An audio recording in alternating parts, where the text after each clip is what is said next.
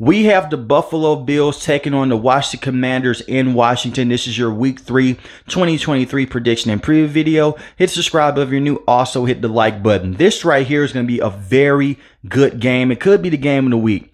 Let's start off with the home team, the Washington Commanders. They look good. They started the season off a little slow in week one when they beat theirs on the Arizona Cardinals 16 to 20. You expect for them to do some better things, but the Cardinals are one of those teams that's playing very good football right now. Then they come back in week two and all the wheels fell off in the first half. They were down 21 to 3. And they come back and win the game 35-33. They're riding that momentum right now. And this is a very hot team. So the Buffalo Bills have to be careful how they treat this team. Offensively, they have to do a better job of protecting Sam Howell. Back to back weeks, he's gotten hit a lot behind his offensive line. And I understand the Buffalo Bills are still without Von Miller. They're waiting to take him off the PUP list, but they can still get pressure with guys like Ed Oliver and Greg Rousseau. Be careful with that. The offensive line has to protect Sam Howell and also open up some rushing lanes as well.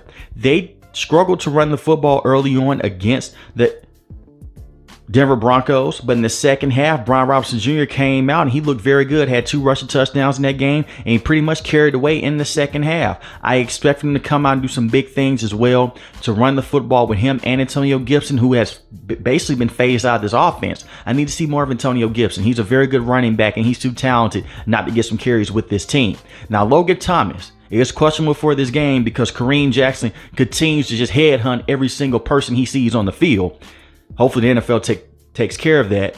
He is questionable for this game, but they still have some good tight ends on this team that can fill in that void. I'm looking at guys like Terry McLaurin, Jahan Dotson, who didn't do much last game, but Terry McLaurin did. He had a beautiful touchdown in the game and looked very good. I'm expecting for them to come out and make some big plays against this Buffalo Bills defense, even though this defense is tough. I think that Eric Bieniemy is a very good offensive coordinator. He's a head coach, in my opinion, posing as an offensive coordinator, and he's going to adjust things on the fly. But come out with some screen passes, alleviate that aggressiveness of the defense of the Buffalo Bills, and target those linebackers in space to try to get those guys going. You can do something similar to what the New York Jets did with Zach Wilson. Try to run the football because they struggled immensely against the New York Jets to run the football, even though they made Josh Jacobs' life a living hell last week. Now, defensively, they have a defense that can stop Josh Allen.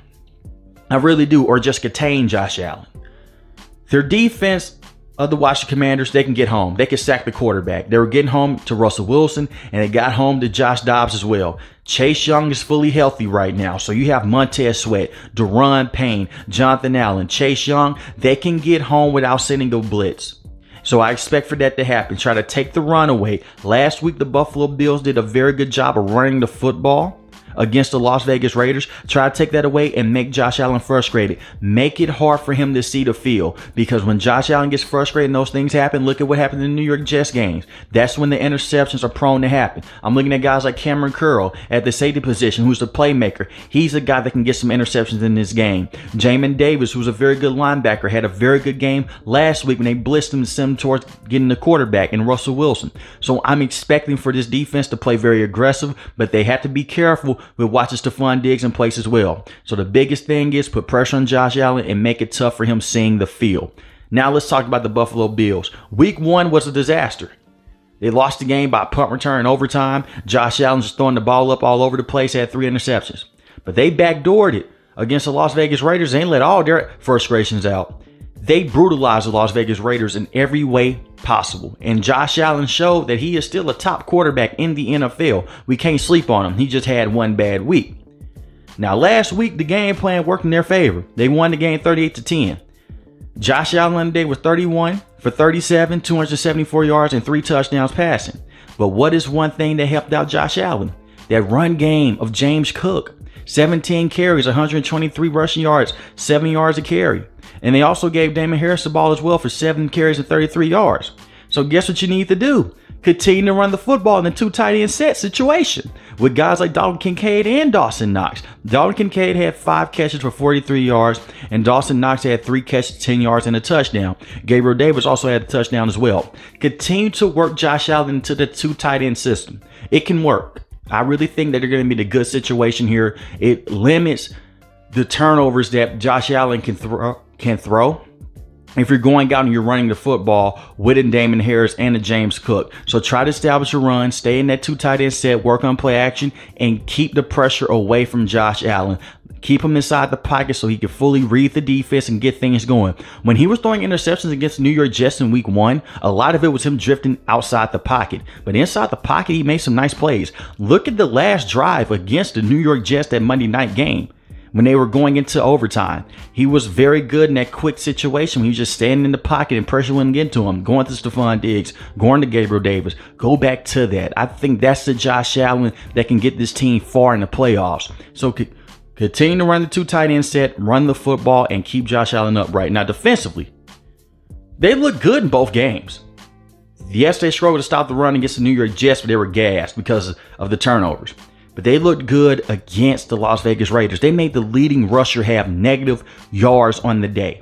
And we have to give it up to guys like Ed Oliver and Greg Rousseau in that game. I'm expecting them to have a big game in this game as well because you're going against a Commanders team that has a very up and down offensive line. Some drives the offensive line looks good, other drives they don't. And with Sean McDermott now calling the plays with Larry, Leslie Frazier taking the year off, they've been more aggressive.